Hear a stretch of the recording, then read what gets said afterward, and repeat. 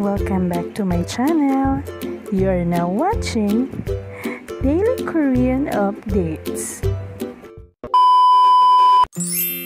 Park Hyung-sik treats Song Hye-kyo to a truck loaded with tasty snacks.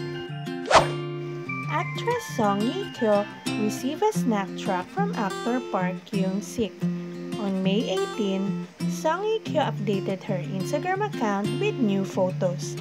The first photo was of a snack truck that said, I'm supporting now we are breaking up.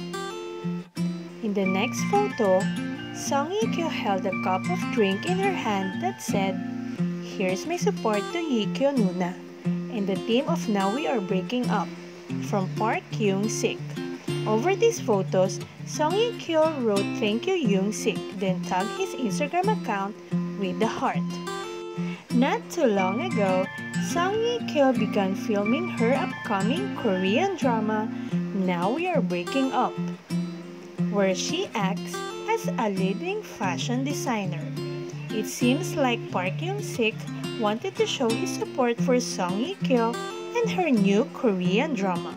Song Hye-kyo and Park Hyung-sik are under the same management agency and that was United Artists Agency.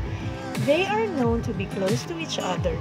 Park Hyung-sik even sang at an after party of Song Hye-kyo's wedding ceremony last October 2017.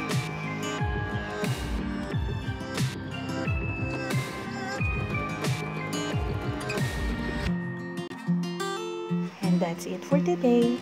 Like this video, comment down below, subscribe to my channel, and click the bell icon for more Song Hye-kyo and Park Hyung-sik update. Thank you and keep on watching.